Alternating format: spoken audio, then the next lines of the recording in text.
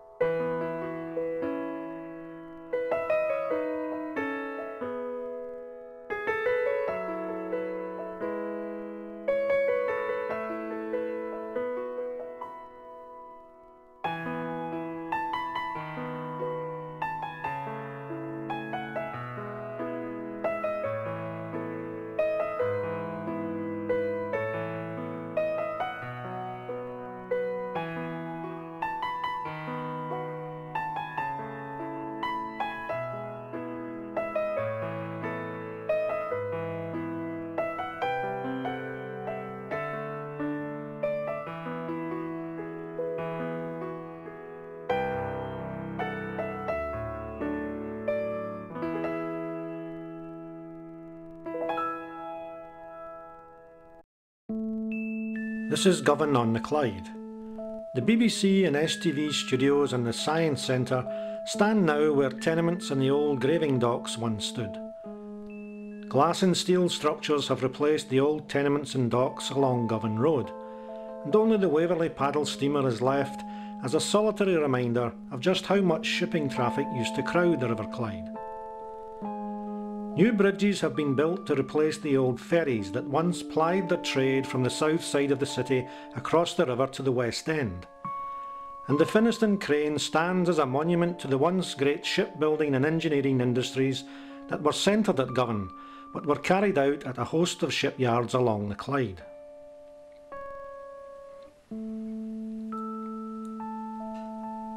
On Govan Road only the town hall remains of the buildings that once housed a burgeoning population, with the once crowded tenements and shops almost completely gone.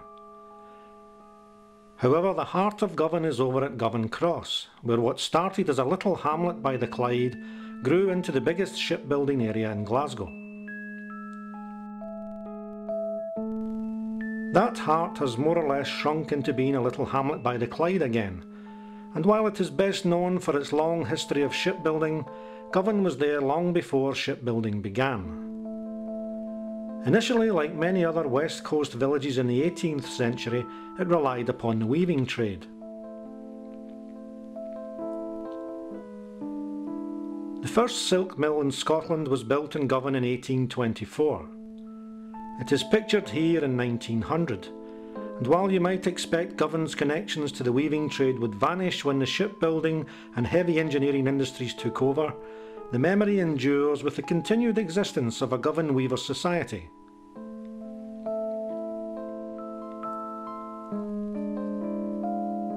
Govan, like that other well-known area in Glasgow, the Gorbals, is not a particularly big place, and indeed when we mention Govan, it should be remembered that it takes in the adjoining district of Linthouse, which is often forgotten. The road to Govan begins in the Kinning Park area at Paisley Road Toll. The centre of Govan is the cross. Govan Cross has changed over the years, but around the church the Pearce Institute and Brechin's Bar at Burleigh Street, Govan ghosts would feel a familiarity with the past. Playing at shops in a muddy back court, pieces of glass for money, empty tins full of mud and stones, produce to buy. It's one and six for a can of mud and stones a ten a penny. No tick allowed in this wee shop, tap a hate me if you're mammy. The innocent pleasures of times long past, whiling away the hours, playing at shops in a dirty back court. Make believe was all we had. Govan's close proximity to the River Clyde would see shipbuilding and heavy engineering as natural industries to grow there. But they did not simply grow, they mushroomed into Glasgow's biggest industries and exports. The term Clyde built could just as easily have been called Govan built. Such was the intensity of industry that grew around this little village, which rapidly expanded along with the industries it embraced. Sadly, the great wealth generated by shipbuilding and engineering at its peak was not equally shared by the people of Govan itself, and the little village never became a wealthy haven on the Clyde, although the people who lived here grew to love it all the same. Like most districts close to the River Clyde and its industry, Govan was quickly and sometimes shoddily built upon to house the thousands of workers needed, and in some areas it rapidly became a slum district full of the problems slum districts brought in their wake.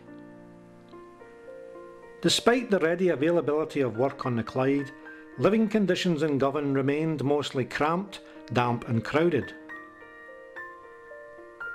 Of course not all the houses in Govan were bad, but neither were they up to the standard of the comfortable mansions built by the owners of the shipbuilding yards, well away from the tenements in the heart of Govan of course. Still, Linthouse to this day has the more stylish tenements that rapidly grew there. Ironically, none of the mansions built by the yard owners exist today, while many of the tenements built around the turn of the century in the heart of Govan have survived, although many more were torn down during redevelopment. Tenements in Shaw Street, Langlands Road and on Govan Road itself remain, modernised now and cleaned to show the red brick that was hidden under black dirt and soot for generations. Many other tenements have been demolished however, taking with them many shops and pubs which sat at ground level, as well as the characters who inhabited them. A lot of Govan images from the past have no modern counterpart, as the land that once housed all this life now lies empty, awaiting some kind of redevelopment. The photographs and film footage of Govan range from the 19th century through to the present day, and we include images from all eras to demonstrate how then and now can be dramatically different in one place and remarkably similar in another. Many of the Govan images are from the 1920s and 30s, and some come from the 50s and 60s through to the 1970s, when shipbuilding and engineering rapidly declined on the Clyde and Govan found itself in need of a new identity. Indeed, looking around modern Govan in the 21st century, it looks as if it's still trying to find that new identity.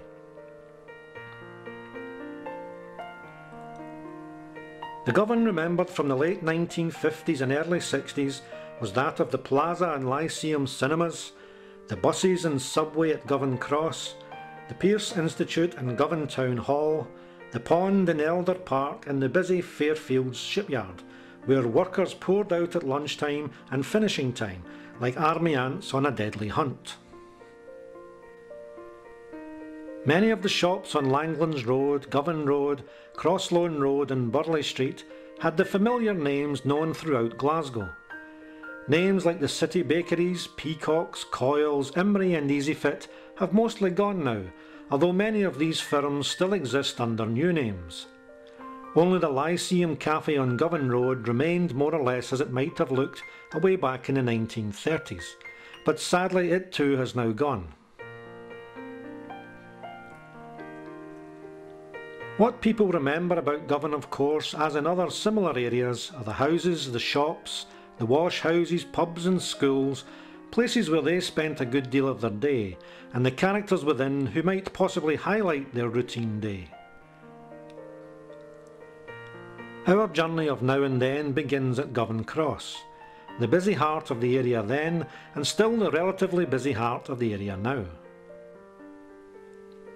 At the centre of Govan Cross is the underground station, or subway as it's known in Glasgow.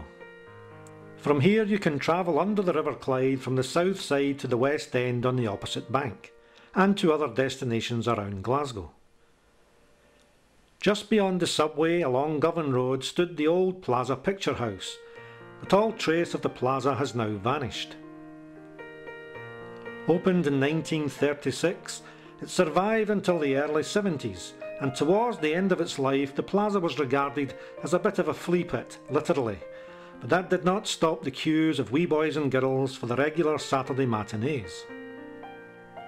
Govan had quite a few cinemas in the past, including the Lyceum, the Vogue, the Elder and the Govan Picture House. Only the Lyceum survives, but more of that later. Nearby the plaza site is Orkney Street, where the old police station stands. Orkney Street was originally called Albert Street and the building was originally the Govan Town Hall, before becoming a police station. It is empty now and undergoing refurbishment, and the police are in a new modern office at the top of Helen Street. Perhaps some old Govanites will fondly remember Orkney Street Police Station, but for many others it was regarded with less fondness. On Orkney Street, where the police beat the living daylights out of me, got caught short at a quarter past three couldn't find a lavvy. In Orkney Street, they ferried me in a Black Maria, and I was drunk to tell the truth and fought them like a tiger. Up in court on Monday morning, sporting two black eyes. The beak I swear I got them in Orkney Street, I cried. But no complaints from me, my lord. I was drunk and fighting mad, and I deserved these two black eyes. But you should see the other guys. Close to Orkney Street is the old TSB building, it too has survived demolition and is being revived. But further along Govan Road stands the fire station and one of the few old tenement buildings that has escaped the regeneration bulldozer. It is an impressive building, even in its current condition. It too lies empty, but sadly looks set for demolition rather than refurbishment, like many of its predecessors. Across the road from the tenement is St Gerard's Secondary School, another red sandstone relic from the past, now closed as a new school takes shape nearby. Not far from St Gerard's is another well-known street in Govan. Neptune Street was originally Queen Street, where tenements and shops once abounded. Today there is little left of Neptune Street, the tenements and shops now completely gone, but that has not been the fate of every street. This is Burleigh Street. It leads from Govan Cross to Harmony Row. In the past, Burleigh Street was full of tenements and shops, many of which were household names. Some remain so, like Boots and Burton's, while others like the city bakeries have gone. Burleigh Street is still full of shops today, but most of the names have changed.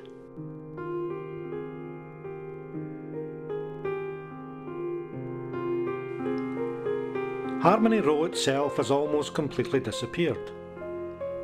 The school that once stood here is gone too, but archive film from the late 1940s to early 50s reminds us that it was once a busy and vibrant area of Govan. Rock stars and footballers hailed from its streets, as well as some more infamous characters, but for the majority of people it was simply where they lived and grew up. But there is little to see nowadays. Have schools changed all that much in the half century since this film was made?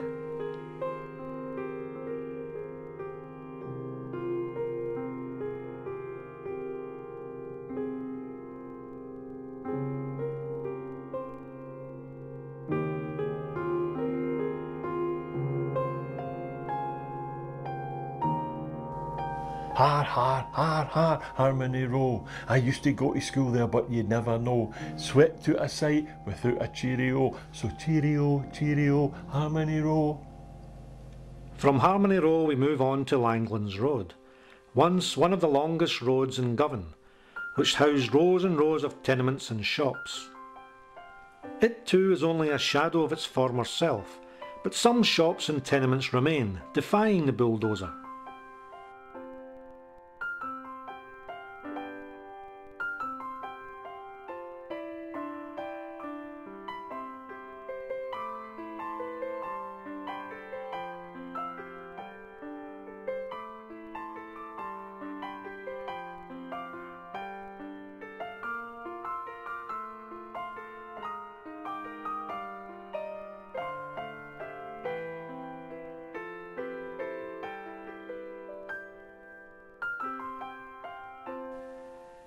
If we follow Langlands Road, it takes us past the Hills Trust School building.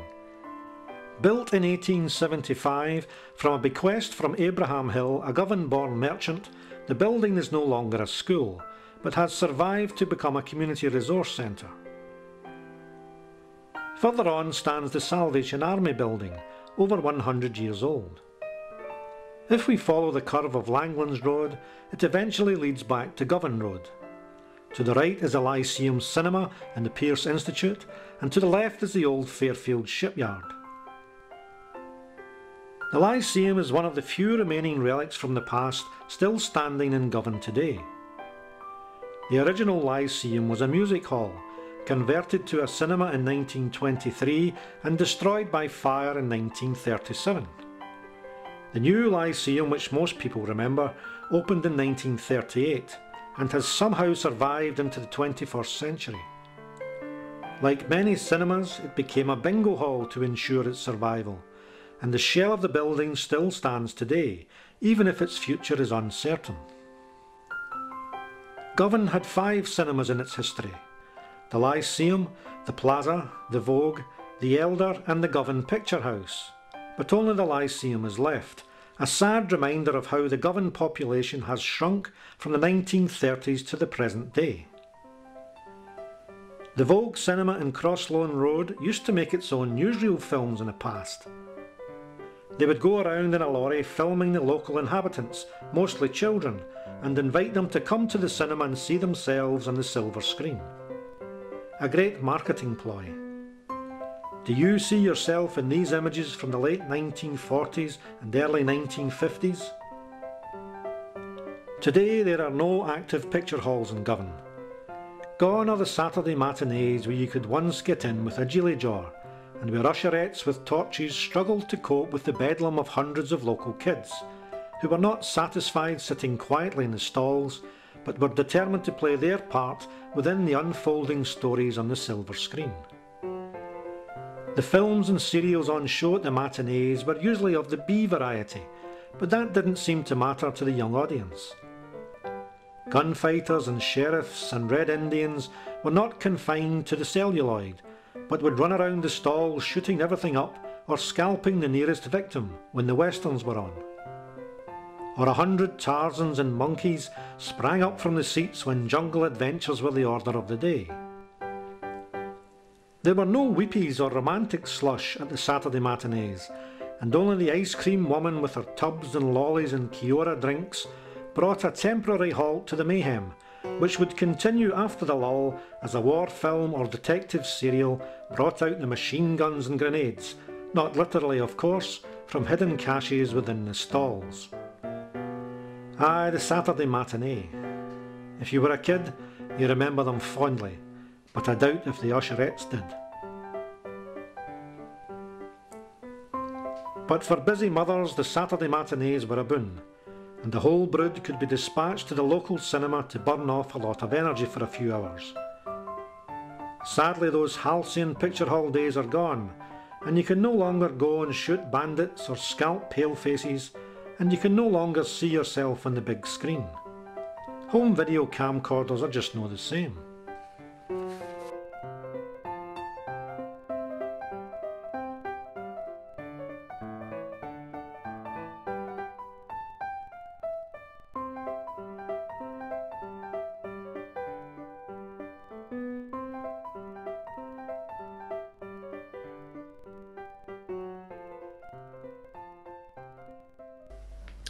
She was Bella McMahon, the usherette for the Lyceum. She also did the Plaza, Vogue and Ritz. Shushing wains and watching winchers, selling tubs and chucking out drunkers, that picture's job could really be the pits. But Sometimes, if she was able, she'd stand and watch Clark Gable, Spencer Tracy, Big John Wayne as well, and dream about being in Hollywood in a clinch with the pride of American manhood up there on the silver screen instead of down in that flea pit hell. Along Govan Road from the Vogue and Lyceum is the Govan Parish Church and the Pearce Institute. The church is over a hundred years old, and the old graveyard within its grounds, while no longer in use today, holds the remains of some of the oldest inhabitants of the area. It is a peaceful oasis only yards from Govan Road, where you can sit and reflect.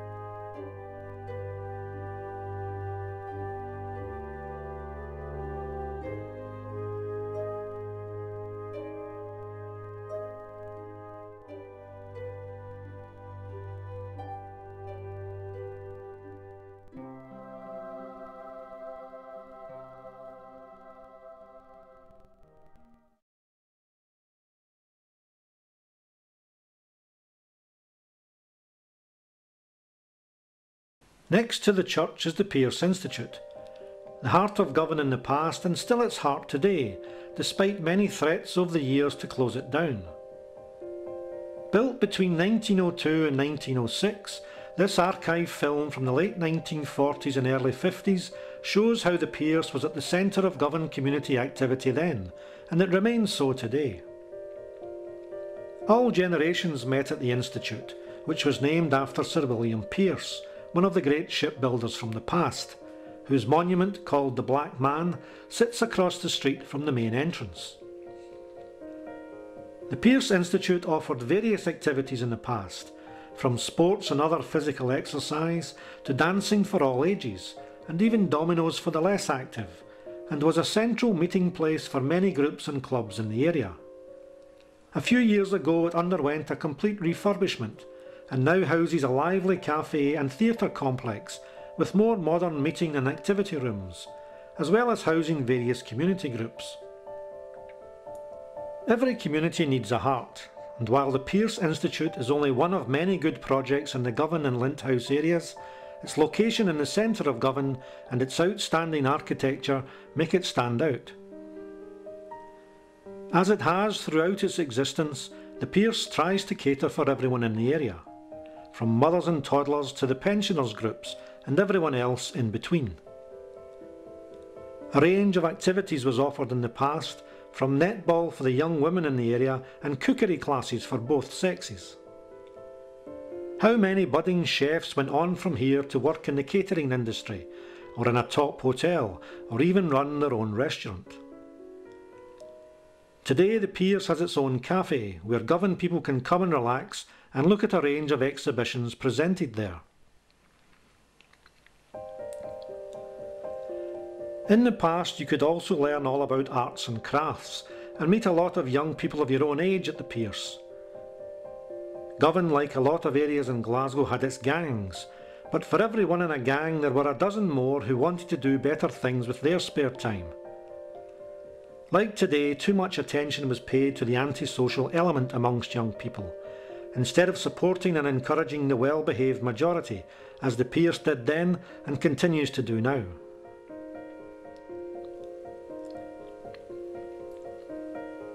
Today, as in the past, the Pearce also has its own modern theatre studio, which puts on a range of productions throughout the year.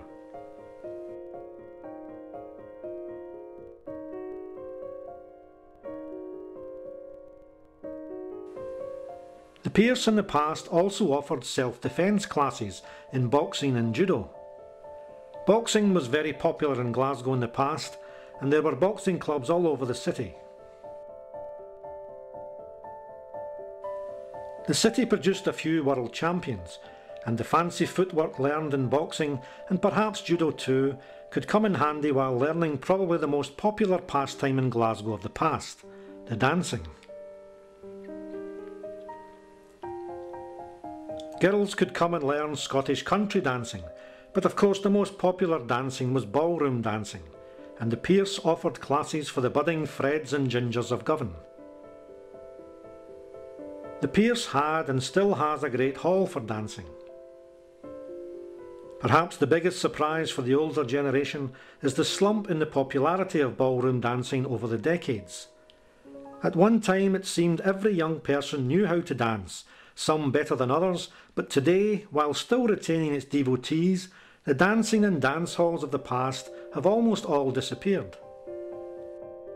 Dancing was a regular feature at the Govan Town Hall in the past, but like many other things, it has gone out of fashion. He was a dancer at the Pally and he cried for Neptune Street. He'd say, Allow for me to introduce myself. Her name was Alice Fallis and she said, I suppose you think you're gallus with your hair all slicked back there with Brylcreem gel. I could take you for a waltz, said he. A tango or a rumba, and later on the night maybe I could be your lumber. You coming for a dance now or what? I suppose I might as well, she said, although you're awfully fool yourself, but you're not walking me home at night. How no, he cried. Cause I live in Bellahouston, in a house with a back garden, and I wouldn't want the neighbours to get a fright. The Pearce Institute also offered facilities for disabled people in the past, and the blindcraft classes were another feature of the range on offer. The old domino players too, of course, could find a welcome here at a time when dominoes were played in practically every pub in the Govan and Glasgow of the past. There are still domino players in leagues today, but not as prevalent as then. The Boys Brigade were another organisation that offered disciplined diversions for young people, and the BB and the Life Boys were very well attended in those days.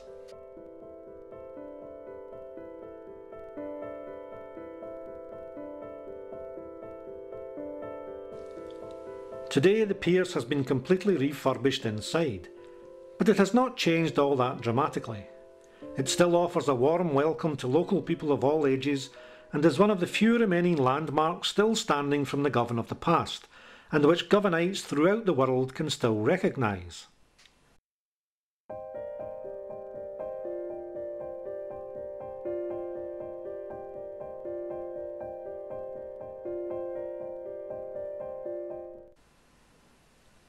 Opposite the Pearce Institute, beside the Pearce statue, stands Brechin's Bar, one of the oldest and most well-known hostelries in Govan. In the past, Govan hosted many pubs, but few remain today. Only Brechin's and the old Govan Arms and Govan Road remind you of the multitude of drinking dens in the Govan of old. It was not unknown for wives to be waiting outside the shipyards on a Friday, determined to intercept their husbands and their pay packets before they hit the local pubs. Drinking and gambling broke up many a marriage in Glasgow, and Govan was certainly not immune to this social problem, still prevalent today.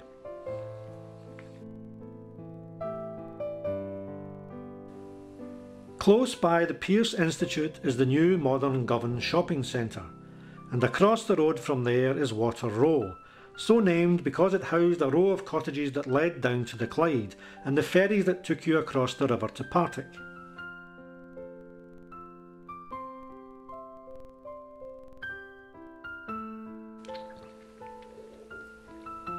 The beautiful red sandstone tenement on Water Row is pretty much all that is left of housing there now, while opposite sits Govan Old Parish Church.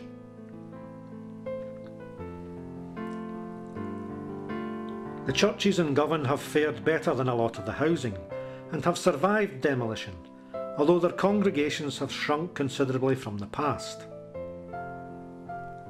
While Water Row took you down to the Clyde, there is little left there on the embankment nowadays, and on the river itself there is hardly any shipping traffic compared to the past, but you can still see some unusual sights there, like seaplanes and the odd boat or two. Opposite the embankment at Water Row sits the site of the new Museum of Transport, currently under construction in 2010. The River Clyde itself, of course, was the lifeblood of Old Govan. For over a century, shipbuilding and engineering dominated the area with a range of yards all along the river. Today, of course, while ships are still built in Govan at the old Fairfields Yard, the Clyde's heyday has long passed. The story of shipbuilding on the Clyde is a story all of its own, but the prosperity from that now almost forgotten industry was not invested in Govan itself. While pockets of Govan are relatively affluent, the area was and is considered a deprived community, even in the days when work was plentiful. Govan is no better or worse than other deprived communities in Glasgow. While a lot of the bad housing has been removed and areas like the Moore Park Estate, known infamously as Wine Alley, have been eradicated, there is precious little new housing or industry to drag Govan up from its current depressed state. Ironically, Moore Park was a grand 19th century mansion house in Govan, but you did not find any grand mansions in the Wine Alley. But its people have always been tough and determined and continue the struggle to renew and rejuvenate their ancient borough. From the days during the First World War when Govan activists led by the famous Mary Barbour helped organise the rent strikes, local people have always rallied against exploitation and injustice. Perhaps it needs another Mary Barbour to rally Govanites in the 21st century to lift the area above its depressed condition. His name was Johnny Don and he was the broker at the pawn. They brought him all their rings and things to pledge. Suits and banjos, pearls and raincoats, trumpets playing only blue notes, for a population living on the edge. His shop was down a lane, but people always looked ashamed that they had to go to him to get some cash. But times were hard and money short. Paydays were a long way off. While many of the tenements were pulled down in Govan, particularly around the town hall area, others were considered good enough to be saved. The tenements at Howat Street and Luath Street, just before the old Fairfield Yard and off Govan Road, are classic red sandstone buildings that have survived. Further along Govan Road to the west of Water Row is the old Fairfield Yard. It was here in the 1950s in particular People remember the thousands of workers pouring out from the main gates to catch buses or trams or propelling themselves on bikes. These are the images that people remember most of Govan. Shipbuilding meant work and work meant relative prosperity. That message has not changed.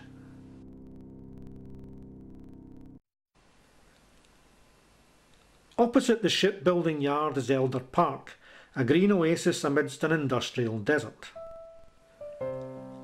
John Elder was another shipyard owner whose wife Isabella took over the running of the company when he died in 1869 and gifted the park and the library as well as a cottage hospital to the people of Govan.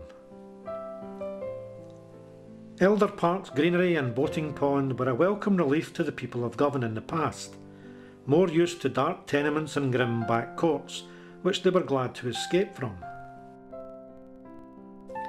Beyond and around Elder Park is Linthouse.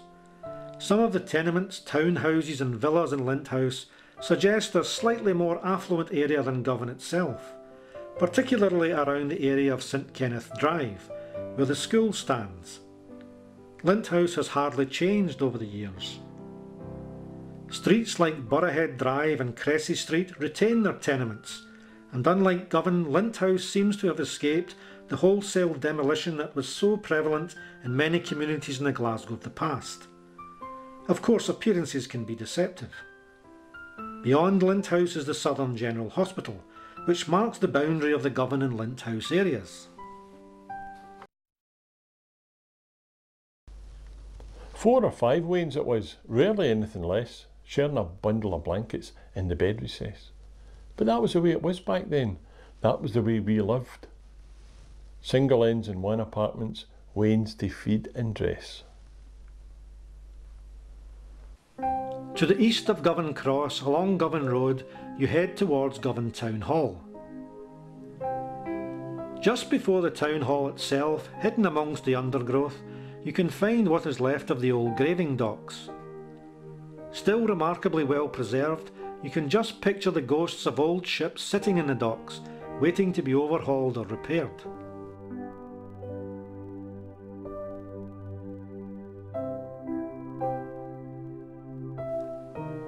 Close by is Govan Town Hall.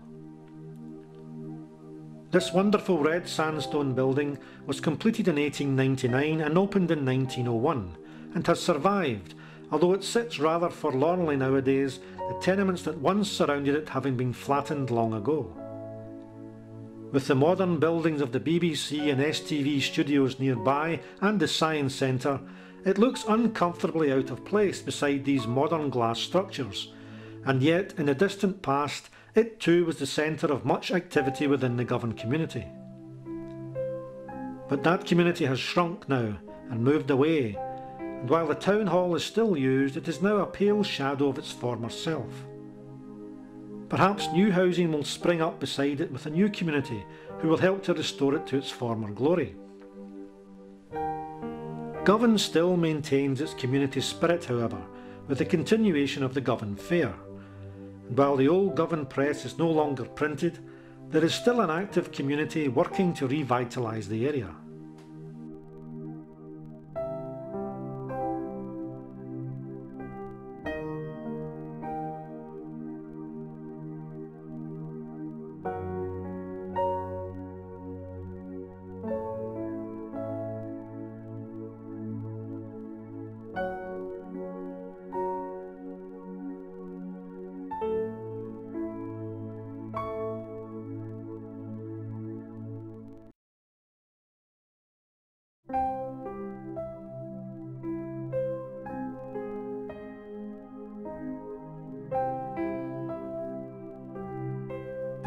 Used to take her washing up to the Harhill Street baths, in the days before the washing machines washed and spinned and dried, filling up the pram with sheets and shirts and soaks, the smell of smelly underpants fit to give a boke.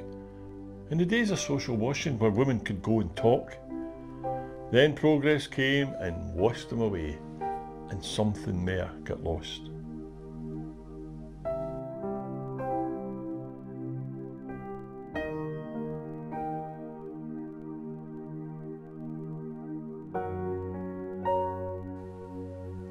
From the town hall we are back to where we started, at the BBC studios and Science Centre by the Clyde.